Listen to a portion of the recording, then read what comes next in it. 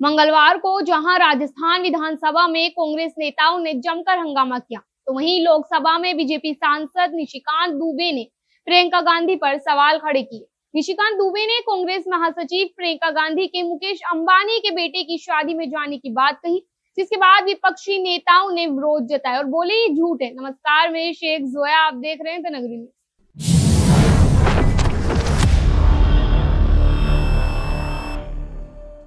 झारखंड के गोडा से बीजेपी सांसद निशिकांत दुबे, अंबानी, अडानी मुद्दे पर विपक्ष को घेर रहे थे। इस दौरान वो बोले, आप क्या चाहते हो कि चंदा भी खाओ और उनकी शादी में भी जाओ? देश का कौन सा राजनेता है जो अंबानी की शादी में नहीं गया?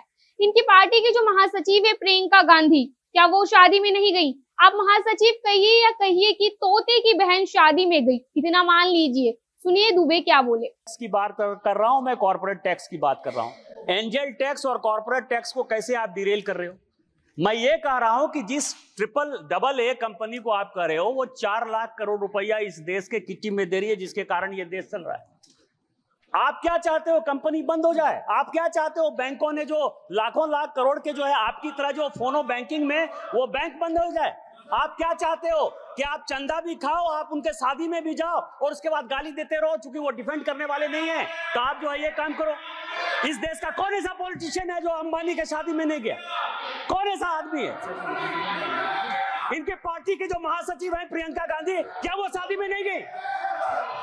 क्या बात कर रहे हो आप? निशिकांत दुबे के बयान के बाद विपक्षी सांसदों ने लोकसभा में हंगामा शुरू कर दिया। हंगामा बढ़ते देख सभापति को दुबे को फाइनेंस बिल पर बोलने को कहा। तो वहीं कांग्रेस के सांसद केसी वेणुगोपाल, प्रियंका गांधी के पक्ष में बोले ये जब भी बोलते हैं तो संसद में झूठ ही बोलते हैं। अभी इन्होंने प्रियंका गांधी के अंबानी की शादी में जाने की बात कही, जो पूरी तरह से गलत और झूठ है। वेणुगोपाल लोकसभा स्पीकर ओम बिरला से बोले, आप संसद में इन्हें गलत बोलने की अनुमति मत दीजिए। तो वहीं कांग्रेस नेता सुप्रीत ने टेक्स पर बोली बीजेपी सांसद निशिकांत दुबे ने प्रियंका गांधी जी के बारे में बिल्कुल झूठ कहा है कि वो अंबानी विवाह में शामिल हुई थी। वो कतई शामिल नहीं हुई थी। इस आदमी को झूठ बोलने की लत है, लेकिन ये प्रिविलेज का भी मामला है। कान पकड़ के माफ़ी मांगो, वैसे कार्रवाई तो होगी ही आपके खिलाफ। ऐसे तमाम और खबरों के लिए देखते रहे रणवीर न्यूज़। शुक्रिया।